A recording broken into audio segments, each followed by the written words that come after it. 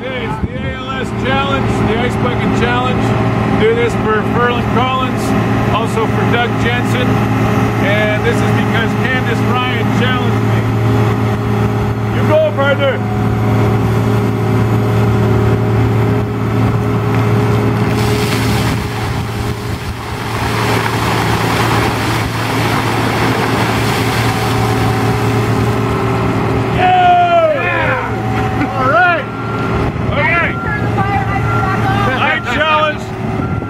Three people that would look great in a white, wet t-shirt.